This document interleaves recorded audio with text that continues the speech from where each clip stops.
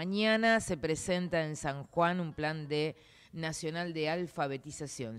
Creo, creo que es la primera vez en años que se realiza, es a partir de un informe de Argentinos por la Educación y 200 organizaciones sociales. Entre ellas, entre ellas, hablemos de Bullying, una de las organizaciones que está parte de esta estructura y que va a ser el seguimiento. Por eso lo tenemos a su titular, al fundador, a Pablo Mainer, santafesino el hombre, como IO.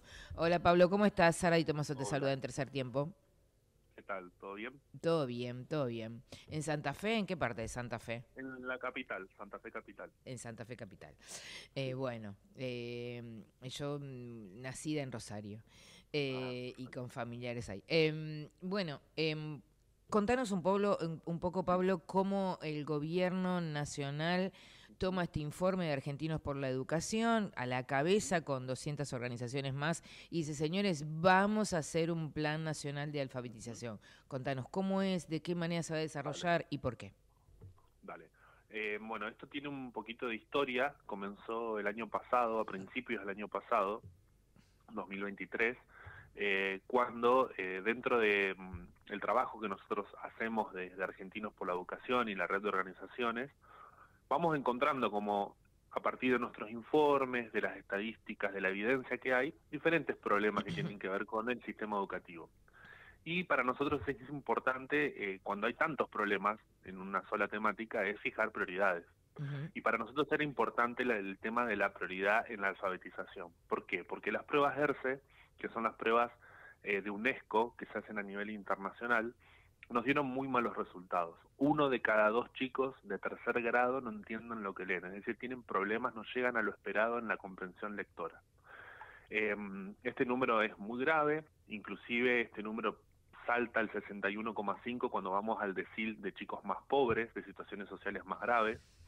Entonces, bueno, era un, era un tema. Entonces comenzamos, armamos una campaña, una campaña nacional por la alfabetización, que tuvo varios hitos.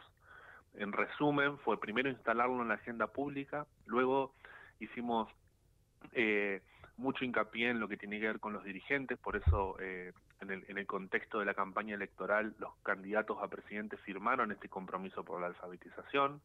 Al mismo tiempo, los candidatos y los que estaban en mandato de gobernadores también.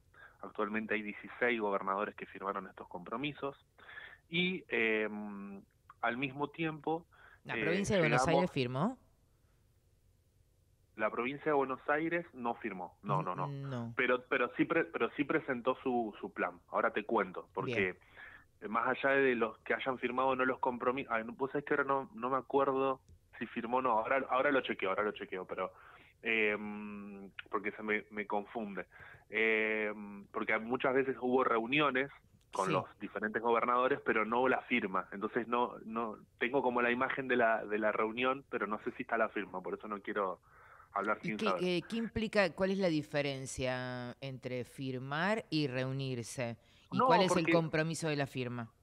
No, realmente ahora, cuando, por eso te quería contar cómo siguió.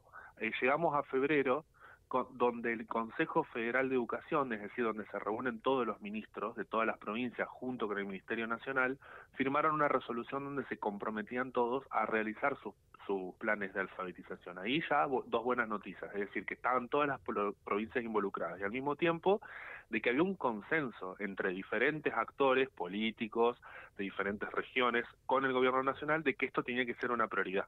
Entonces nuestro objetivo en algún punto estaba cumplido, ¿no?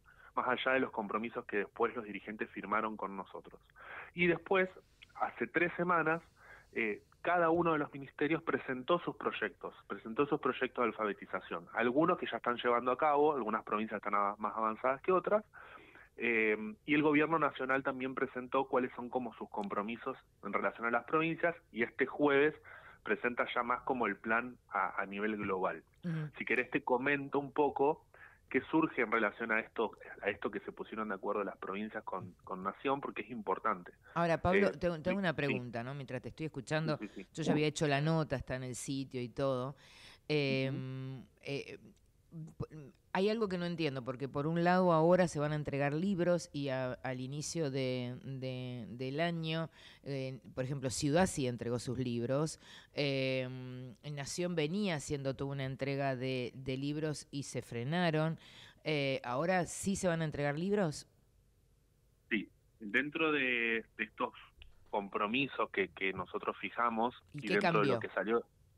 Para que se haga ahora y no en marzo.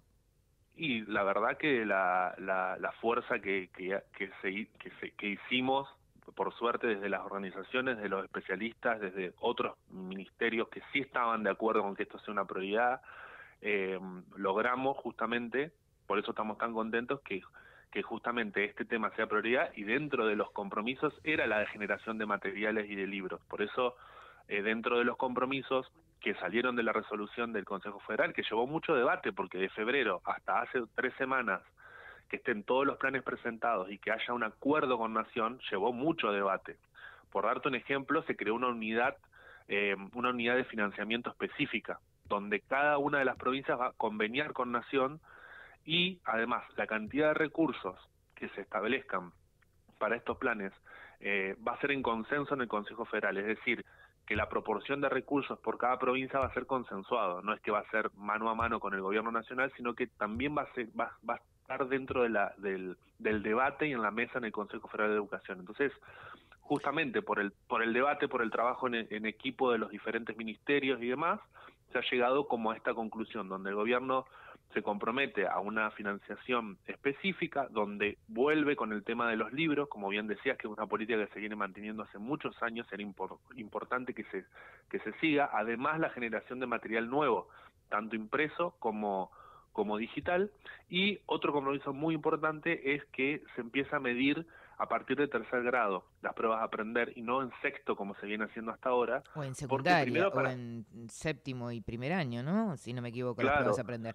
Eh, eh, yéndome, me voy un poquito para atrás. Eh, con respecto a lo que está hablando. En una época fui docente y muchos, creo, tal vez estoy equivocada, eh, hace muchos años que no, ejerzo como, docente ni de primaria ni de secundaria, sí colaboro en cuestiones relacionadas a mi agenda, que es agenda social, en algunos colegios. Pero volviendo a lo que vos recién describías, em, que Nación va a decir, bueno, sí, tengo que comprar los libros, evidentemente ahí no puedo pasar la motosierra, pero la pregunta de rigor, la descentralización que existió en los 90, ¿no es momento de replantear y decir, che, a ver, es muy distinto el, PBI de la Ciudad de Buenos Aires que el PBI de Chaco, que el PBI de Córdoba, que el PBI de Santa Fe? ¿No es momento de... Ah, ¿y eso se habló, se puso en la mesa? A ver, a ver, no, no, no sé si eso está en debate hoy en el Consejo Federal de Educación. Lo que sí tenemos eh, una, una gran cantidad de especialistas en lo pedagógico, en lo educativo, un montón de organizaciones que no todas, ¿eh? hay una biblioteca por un lado y para otra, eh, que muchas planteamos que sí, que a partir de los 90 con la con la responsabilidad en su totalidad de las provincias hubo un, un digamos unas grandes digamos, diferenciación en los resultados. Entonces, basándonos en la evidencia, vemos que los hay provincias, hay regiones que tienen peores resultados, ¿no? Y, y, muchas veces van en consonancia con esta cuestión de los recursos. Por ejemplo, si vemos las provincias del noroeste, noreste, suelen tener números más bajos que el promedio nacional. Y ciudades y lugares como la ciudad de Buenos Aires como bien decías vos, que tiene una situación económica distinta, suelen estar por encima de la media. Entonces vemos una gran desigualdad. Eso es muy injusto, sobre todo para los chicos que están en esos, en esos lugares, ¿no? Y en la propia ciudad de Buenos Aires, eh, que está absolutamente dividida a partir del norte y del sur y de algunas situaciones socioeconómicas, también hay diferencias, ¿no? O sea, totalmente, totalmente. Ah, mm. Inclusive no es el único factor, pero el factor socioeconómico es un factor determinante y, lo, y lo, la evidencia lo demuestra. Más allá de lo que yo puedo opinar, basándonos en la evidencia, esto lo muestra, ¿no? Y al mismo tiempo es como falta un proyecto educativo de, nación. Más allá ¿Cuánto hace que no hay un proyecto nacional de alfabetización que dice, bueno, nos vamos a poner de acuerdo, las 24 jurisdicciones en dos puntos, libros sí o sí eh, libro sí o sí y una obligatoriedad. En este punto quiero hacerte una pregunta. Mm. ¿Hay este, las escuelas privadas en este sentido, perdón si este, ignoro, eh, legalmente, ¿van a también estar obligadas a cumplir eh, esta política de alfabetización? Sí, sí, totalmente. Es para todo el sistema educativo. Em, y bueno, por eso nosotros estamos eh, muy contentos con estos, estos primeros pasos. Obviamente después viene la etapa de monitorear qué pasa con la implementación de estos planes. Hoy en día están los proyectos presentados, algunas provincias ya lo están llevando a cabo, pero bueno, no es hora de evaluar porque bueno, justamente nuestro uno de nuestros ejes de trabajo es trabajar por evidencia. Entonces, cuando empecemos a ver los primeros resultados, varias provincias eh, van a empezar a, tener muestras censales o algunas focalizadas a, fin de año y a partir del año que viene inclusive vamos a poder tener los números sobre la mesa y decir, bueno, ¿qué plan funcionó mejor en qué provincia? ¿Por qué?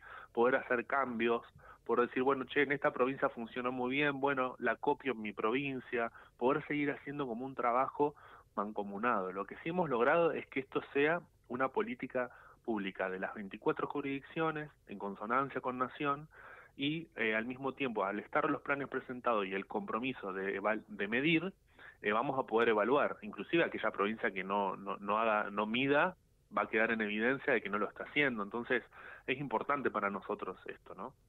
Em, ¿Se va a medir este mismo año o se va a medir cuándo la implementación de esta política? Algunas, depende del plan. ustedes si entran a la página, nuestra página web que es argentino eh, por la educación.org, tienen el informe que está relacionado al monitoreo de los planes de alfabetización y ahí tienen un cuadro donde cada provincia, un resumen de lo que son los planes en cada provincia. Eh, algunas provincias van a empezar a medir en, en diciembre, eh, la mayoría te diría, y después queda eh, las pruebas anuales, ¿no? Tanto las que se hacen a nivel provincial como las pruebas aprender, eh, que, está este compromiso de medir en tercero y ya, y no solamente en sexto, para poder primero llegar temprano con los resultados, sexto es muy tarde, y segundo para poder comparar también con países de la región y con estas pruebas de, de UNESCO. Eh, Ojalá que realmente se pueda cumplimentar y que esta igualdad, porque para mí hay veces, insisto, eh, la cuna determina un poco el destino. ¿no? es tan así, tan cierto que uno puede hacer lo que quiere como quiere desde la meritocracia. Así que eh, la mochila llena... La educación en Argentina era eso. Ah, era, eso hace muchos años. Pero lo que pasa es que también había una mesa más o menos acordada. Se podía comprar la leche, se podía comprar el pan. Bueno, em, en algunos momentos del país fueron un poco más complejos, pero había algunos acuerdos medios tácitos en este sentido. Eh, bueno, mañana en San Juan, entonces se hace esta presentación. Eh, ¿Tenés certeza de quiénes estarán ahí presentes? ¿Lo presenta quién? ¿El secretario de Educación? Sí, y la ministra Petovelo y el mm. presidente, hasta lo que sé. No, no tengo más detalle. No tenés más detalle. Eh, el gremio no sabemos si estará acompañando en este proceso. Los gremios no, tampoco. tampoco. Eh, Pablo Mainer, eh, em, parte de esta, de esta investigación, de estas 200 organizaciones sociales, conjuntamente con Argentinos por la Educación, lo, he molestado un montón para poder salir en el día de hoy, pero pues, tengo puesta la camiseta de la educación, así que eh, gracias por ocuparse de estos temas que hay veces no, no son tan importantes para todos los medios, así que ojalá que sigan ocupándose durante mucho tiempo. Gracias por estar aquí en Tercer Tiempo. No, gracias a ustedes. Un abrazo. Un gran abrazo. Pablo Mainer, eh, de una de las organizaciones que fueron parte de esta investigación, de eh, obviamente que tiene que ver con el compromiso también de eh, la organización de bullying, y es parte de todo este proceso para una Argentina diferente, ¿no? Donde la educación esté sentada en la mesa.